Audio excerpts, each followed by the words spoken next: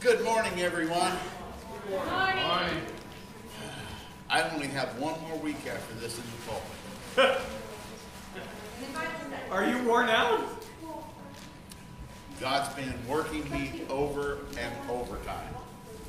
And he's been perfecting me and bringing me, oh yeah. It, it was easy in the prison. I was comfortable. And God's called me out of there to here. And I'm totally out of my comfort zone, so I know exactly where I'm supposed to be. So while we were singing Amazing Love, I was just praising God and I had my eyes closed and I saw this picture. And it was Jesus and he was standing there like this and he was holding the world in his hands. And he was kind of smiling, he had a tear coming off of his eyes. And I was like, wow, that is amazing. Well, I'm just going to give you this. I'm going to be preaching on grace today. So that's where we're going. And how, who, does anybody know what grace is? Give it to me, Lex. No? Grace is being short, no, that's favor. Unwarranted favor. Grace is the unwarranted, unmeasured, undeserving favor of God. Because we don't deserve it. Uh, my Bible tells me that we're sinners saved by grace. And how do you get saved by grace? It's real simple. To get saved by grace, you have to believe that Jesus was the Son of God and is the Son of God. That he paid the price that we could not pay, that we were not capable of paying on the cross. And then rose on the third day to prove he was who he said he was. Now, while I'm doing preaching on grace, I want you to understand a little something. I have discovered in my time while I was in the prison ministry, there's two different kinds of people in there. Well, there's three people in there. There's the people who see how amazing grace is and they receive it. There's people who don't think they deserve it and they don't realize that Jesus paid that price and they can't accept that because they think they have to pay it themselves. And then there's the other ones who go, oh, I've got grace, so I'm cut loose to do whatever I want now. You know what? We want to be the guys who are amazed every day that God woke us up, Amen. that God poured His Spirit out into us, and He's continuing to be with us each and every day. Now, I'm going to hope this all hammers out nice because it's been a week, so I've had trouble getting quiet with the Lord and getting things squared away. Romans 3:24 says, "Yet God in his grace freely makes us right in his sight, but he did this through Jesus Christ when he freed us from the penalty of our sins." Grace frees you, guys. Grace turns you loose because you're no longer under the burden. How many of you have ever seen uh, or read Pilgrim's Progress? Spectacular book. You need to read it. And if you don't do reading that well, you need to watch the movie. It is great. Because Christian is on his way to the celestial city and he sees all these different things on his way there, right? But when he gets to the cross, the burden falls away. Guys, we need to let the burden fall away and leave it lay there. Because too many times, like Tara was pointing out, we pick it up and we try to walk off of it again.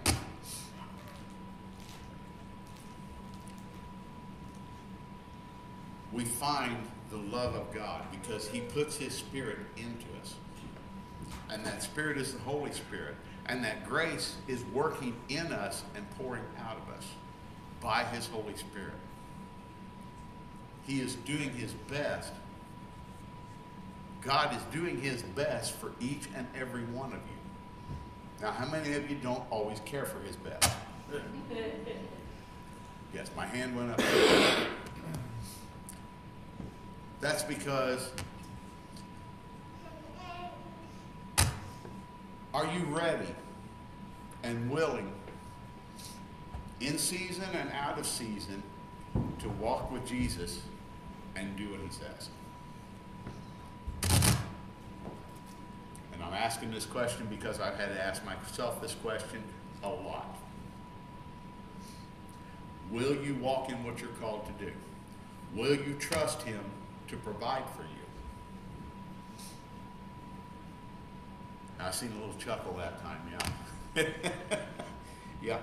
Sometimes we have to walk by faith, not by sight. And I'm making all kinds of noise here, so.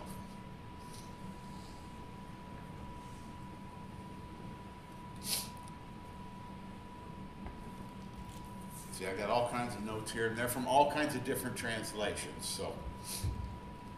But if we believe God is going to provide for us, I got a, I got a beautiful plaque that I got for Christmas from uh, one of my daughters.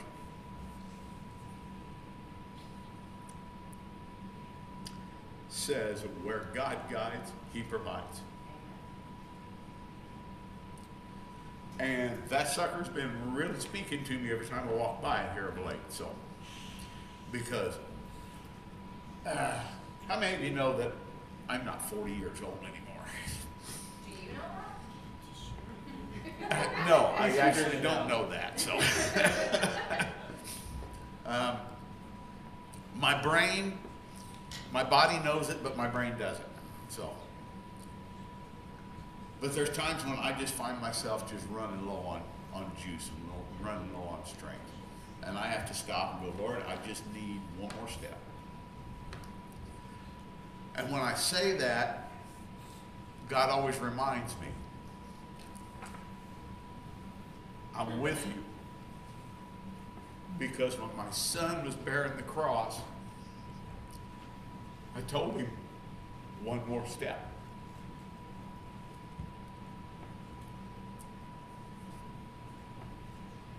And then he took one more step. And when he showed me that, I have to just stick my hands up because it becomes totally and completely part of me just how amazing grace truly, truly is. We sing the song Amazing Grace, but do we really, truly believe how amazing that grace is?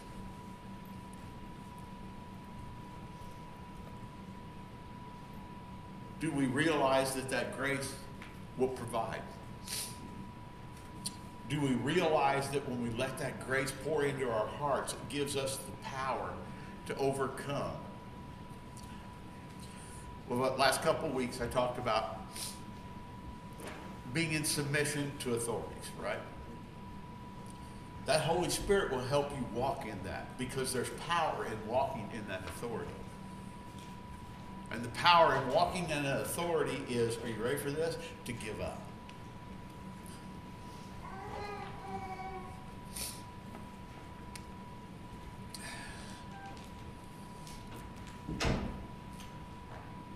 Paul says, 2 Corinthians, this is chapter 12, and I'm just reading verse 9 because Paul's talking about this. He's talking about he had a thorn in the flesh and he asked God three times to remove it.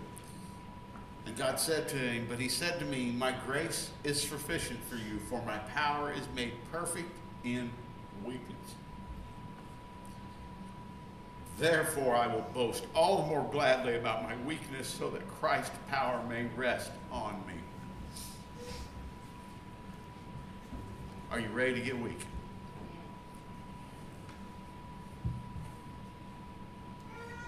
I know I am. I have not been able, I have not been able to quit crying for the last eight months. It's constant. And I can tell you right now, most people that knew me prior to that, um, yeah, there was no crying. Yeah. Manly men don't cry. Who? Yes, manly men cry all the time. In fact, Barb's granddaughter Raven uh, has only seen she had only seen me cry two times. It was once was when we were praying for Barb when she was in the hospital, and the other time was when Barb passed. And she said it shook her up. Well, guess what? I think people need to be shaken up. They need to have their cages rattled. They need to be shown that Jesus is real. And when Jesus touches your heart and you start weeping like a little kid, they look at you and go, What's wrong with that person? My Bible says, Be ready in season and out of season. Give a, a response for the hope that is in you. The Holy Spirit and God's grace give you hope. How many of you know this? Bible also says, and hope does not disappoint. Amen.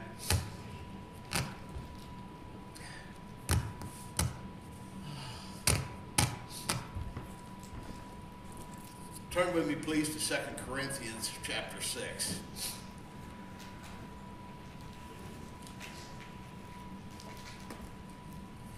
I'm sitting here trying to find it.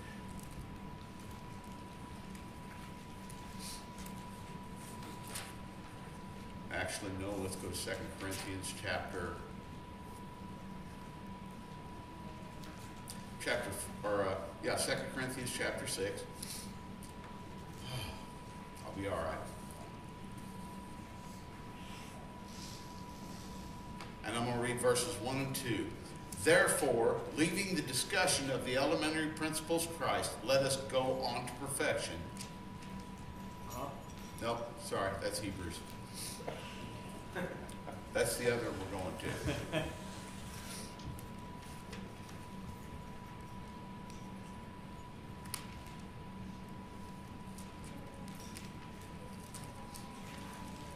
Second Corinthians chapter six, here we go. I lost my bookmark, sorry. Second Corinthians chapter six, verses one and two. We then, as workers together with him, also plead with you not to receive the grace of God in vain. For he says, It is an acceptable time I have heard you, and the day of salvation I have helped you. Behold, now is the acceptable time. Behold, now is the day of salvation. You know when the day of salvation is, guys? Every moment of every day. And I just read to you not to take the grace of God in vain. Years ago, when I was preaching at the prison, I was preaching out of First John. I don't know if you guys know much about First John, but First John is a real black and white book. You either are or you aren't. There, there's no room to color in between the lines there. And I was reading where it says, if you say you have no sin, you're a liar and the truth is not in you. And a guy out in the crowd, inmate, jumped up and started screaming, blasphemer. And I went, what? He screams, blasphemer, he's preaching blasphemy. And the officer back at the desk popped right up out of his chair because he didn't know. Well, I continued on with the service, and it went just fine. And afterwards, this guy came up to me and he goes, You know, you're, you're wrong. I said, What do you mean I'm wrong? He says, Well, I'm, I'm, I'm saved. I'm no longer have any sin. And I went, Okay. Now, understand, we're talking inside of a prison. I'm the volunteer. He's incarcerated, okay? and telling me how he has no sin anymore. And I said, Okay, then just why are we having this discussion in this setting? Well, I just backslid a little bit. I said, okay, you backslid. He goes, I was pastoring a church. Actually, he said, I am a pastor of a church. And I went, okay. He said, Duh. Well, you see, I just, I had a little drinking, drinking problem. Okay. Had a little drinking problem. Alcohol got the best of you. I said, so what, did you drink and drive? Well, no, no, that's not why I'm here. said, then why are you here? He said, well, I had a girlfriend. I said, and you were married? He goes, yeah. I said, okay, so you had a girlfriend and you were married and you were an alcoholic. He said, well, and I had used some drugs too. And I went, okay. I said, so that's where you're at. Well, no, actually, I'm here because um, I was taking money from the church so I could support my girlfriend in my drug habit. And I went, okay, now understand, we're having this discussion with 30 other inmates around us. And he goes, why'd you say I just backslid? I said, so you call that backsliding? I said, you weren't convicted by any of this as you were doing this? Well, no, because I've got grace. That's called taking the grace of God in vain. And I said, Well, I don't think that's backslidden. I said, I think you took a jump off the high dive in the deep end of the pool. He goes, Well, you know what? You just don't understand. I'll pray for you. And I stepped back and I went, that I'll take prayer. I said, I'll pray for you too. And he walked off, and these 30 guys are standing around me, just looked at me and went, Is he for real? Even these guys knew how out of pocket that was. You see, if we start thinking that we have no sin and we deserve it, we make Christ a liar. We make God a liar. Because it says in 1 John, the truth is not in us. The Holy Spirit abides in us and pours that grace out into our hearts not because God wants to beat us up. Because God wants to have that relationship. He wants to know. He wants you to know how much He loves you. He wants to draw you in to Him. He says, James says, draw near to the Lord, and He will draw near to you. He wants you to come in. He wants that relationship. He wants that relationship with you more than you want it with Him.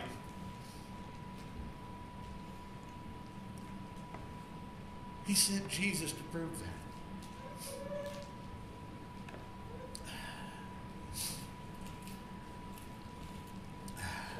Turn with me, please, to Hebrews. Now we're going to go to Hebrews.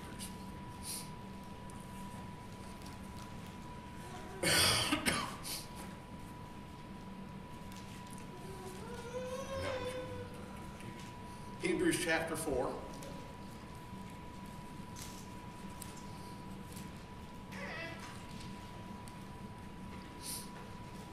And I'm going to read verses 14 through 16 here. Seeing that we have a great high priest who has passed through the heavens, Jesus, the Son of God, let us hold fast our confession. For we do not have a high priest who cannot sympathize with our weakness, but was at all points tempted as we are, yet without sin. Let us be let us therefore come boldly to the throne of grace that we may obtain mercy and find grace to help us in time of need. How many of you know that God's going to help you in your time of need? How many of you know sometimes you think the way he should help you isn't the way he does? Amen. Mm-hmm.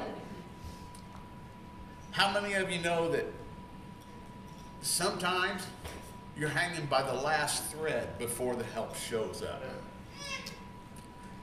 Okay, just so you guys get the clear picture of this, that's called faith. That's called walking by faith, and that's not easy. But by grace and the Holy Spirit, you'll be empowered to walk upright in that. Jesus helps you to walk upright in integrity. You have a high priest who has been tempted in every way that you have. How many of you really understand? Jesus was in the flesh, right? Jesus got hungry, right? Jesus felt pain, right? Jesus got thirsty, right? He was tempted in all ways. He was given the opportunity to lie. when he was questioned by his disciples, when he was questioned by the Pharisees, anybody who came up to him and tried to trick him in something, he could have lied. He could have cursed them out. Yes, Jeff. I, sorry to interrupt you. Uh, uh, Hebrews two, verse fourteen? No. Hebrews 4, verses 14, 15, and 16. Okay. Sorry. Did I, did I say two? I might have. No, Uh, said I was gonna say, I get misquoted whenever I talk to myself sometimes, so. Where was I? Yes, Jesus, temptation. Jesus was tempted in everything, just as we are. Here's the difference. Jesus said this, I don't do my will, but the will of the Father in heaven. Now you do the Father's will because you have the communication. You have accepted that grace. And how many of you know, okay, Isaiah says, by his stripes you're healed, right? How many of you know that grace can heal you?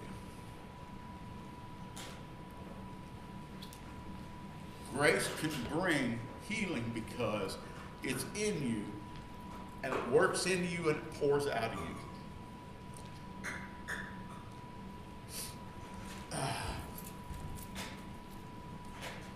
Turn with me, please, to Galatians chapter 2.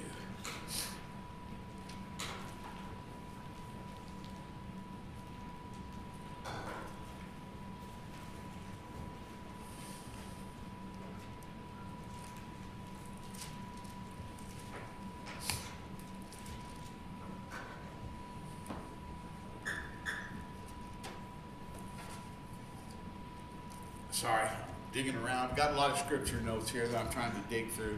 Didn't get to chop them down like I usually like to. Um, I go back to my notes because I forgot where I'm going. Galatians chapter 2. I'm going to read verses 19 through 21 here.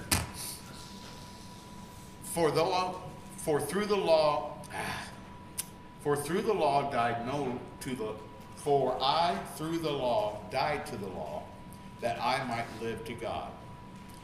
I have been crucified with Christ. It is no longer I who live, but Christ lives in me. And the life which I now live in the flesh, I live by faith in the Son of God who loved me and gave himself for me. I do not set aside the grace of God, for if righteousness comes from the law, then Christ died in vain. Paul, I love Paul. He had such a understanding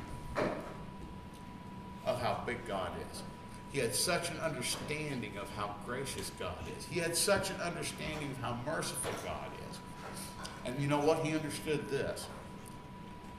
Jesus told his disciples, Everything you see me do, greater things shall you do. Okay. Do you know why we're able to do greater things? Because Jesus had no sin. We have to overcome that sin nature by the Holy Spirit, by God's grace, by His love, and by His mercy. And every day, we walk upright in that. Every moment of every day, we're given an opportunity to say, I don't want this anymore. But you know, God's love draws us in. God's grace keeps us on track, and God's mercy shows us who we are. He loves you unconditionally. He paid the price for you unconditionally. His grace is unfathomable and inexhaustible. You guys know that, right? God's grace can't be exhausted. It will keep pouring out in you, on you, and through you.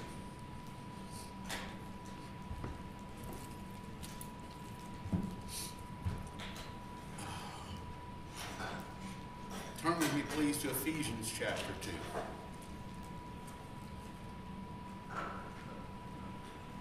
Actually, we're going to Ephesians chapter 1, so it doesn't matter. We're going to the same place.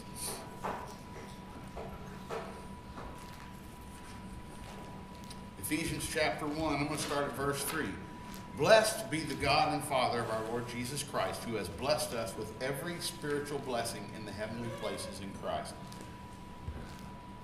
Stop right there for just a second. How many of you know how blessed you are? How many of you know that when you're having a hard time getting to God, there's two ways to get there? And I'm going to give you the formula because this is a formula. Are you ready for this? First of all, I don't care what's going on around you, start thanking Him. He showed me this several months ago. Just get thankful. No matter what's going on, speak it out. And you'll feel Him coming into the room. Second, start going, you know what, Lord, you blessed me here. You blessed me here. Start counting your blessings. That Frank Sinatra sang that song. Count your many blessings. You start counting your blessings. You know what the amazing thing about this? I was talking with Pastor Randy here just the other day. Reckless love, right? I'm reading Reckless Love and I'm thinking I'm going to learn some new stuff here. And as I'm going through, I'm like, well, God, God showed me this already. I'm doing this. Oh, God showed me this already. I'm doing this. It was a great big book of confirmation for so much stuff He's doing in me. When you get thankful and you count your blessings, you step fully into, are you ready for this? God's presence, His grace, and His mercy. And it pours out to you. You know that grace just draws you in when you start feeling it. It just it just pulls you. You you can't help but just be pulled in, going, how can I not be this thankful? Let's read on down. Sorry, I kind of rabbit trailed there for just a short second. I'm going to read that over. Blessed be the God and Father of our Lord Jesus Christ, who has blessed us with every spiritual blessing in the heavenly places in Christ. Just as he chose us in him before the foundation of the world, that we should be holy and without blame before him in love. Having predestined us to adoption as sons by Jesus Christ to himself, according to the good pleasure of his will, to the praise of the glory of his grace, by which he made us accepted in the beloved.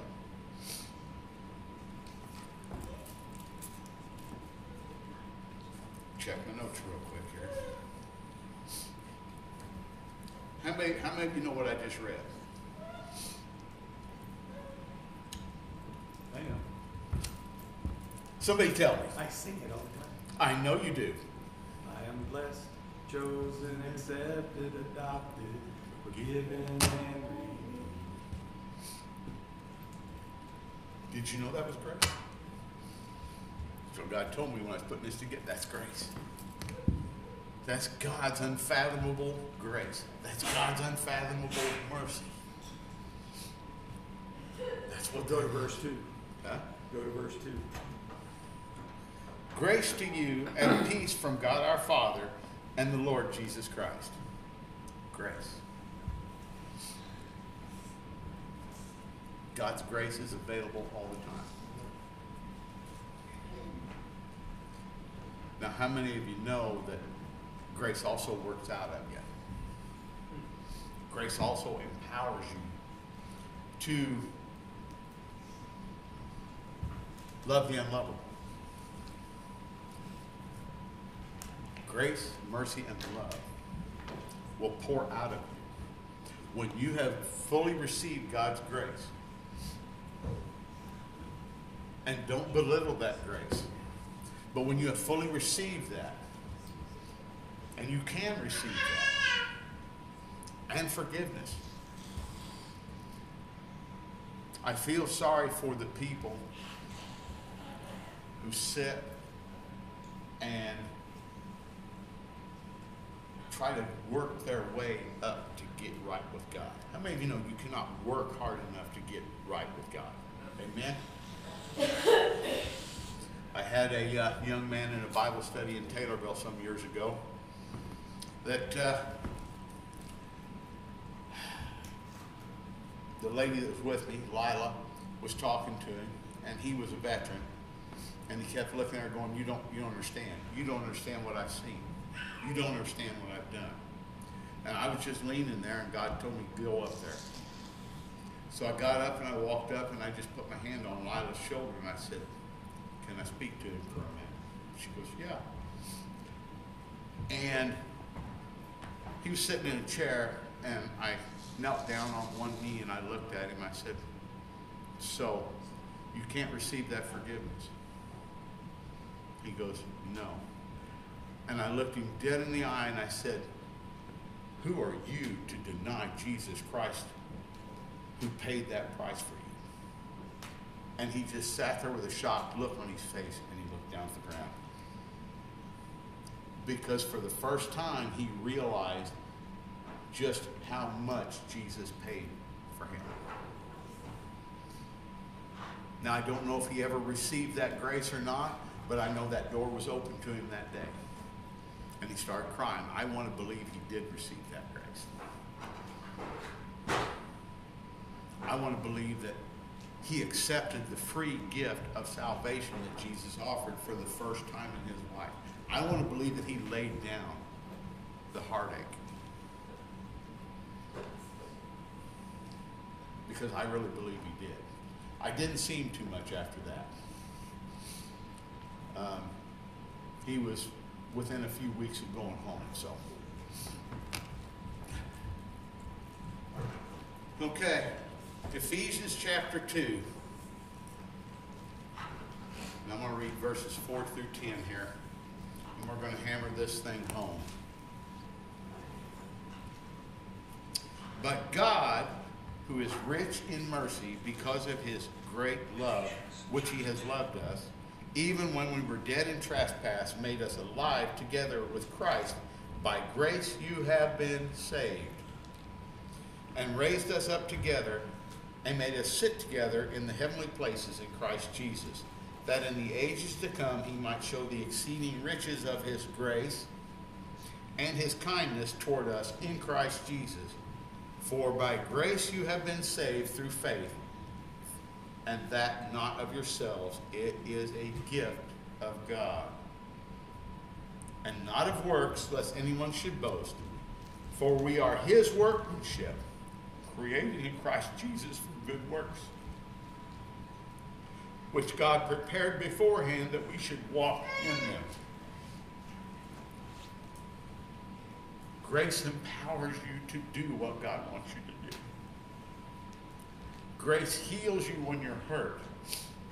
Grace strengthens you when you're weak. Grace reinforces your faith when it's waning. Grace shows you how much God loves you. Amen? Now, I read that last part. He's got work for you to do. I've already told you He's going to provide for you. I've already told you He's going to empower you. I've already told you He's going to help you every step of the way. Now, here's my thing do you believe it? Or do you need a little more faith? Don't answer that question, please. I want you to, guys, to take this word, take God's grace, suck it in, get it into your heart, get it into your mind, get it into your body. Make it the daily bread you eat. Make it the very air you breathe. And understand that the, he's going, he will freely pour into you. Says in James, anybody who lacks wisdom, let him ask of God, who gives liberally when without reproach but says not to doubt that he's going to give it to you. Many of you know that's where we fall short? Well, maybe it's just me that falls short there. I kind of start doubting once in a while. But I want you guys to understand this, how much God loves you and how great his grace is.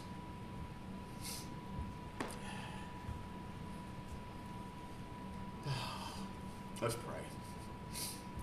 Father, we just come before you. We thank you for everything you've done, everything you, you continue to do, Father. We thank you for your grace, for your love. We thank you for your son. And Father, we just ask for provision to provide. I know uh, where we're at. So many of us are kind of struggling. And Lord, I just ask that you would provide by your mighty hand, by a miracle, by just some gracious thing that would just pour down from your, your heavens, Father. And Lord, I just ask that uh, you just continue to be with us and abide us with us. Continue to guide us, take us down the path each of us needs to go. And Lord, I would just ask that you would just continue the work you've started here in this body, in this church, and in this town, so that you receive the praise, the honor, and the glory in Jesus' name. Amen.